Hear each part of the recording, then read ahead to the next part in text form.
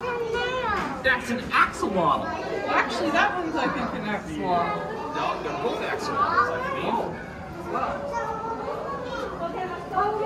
yeah. Oh, yeah. over by us, please.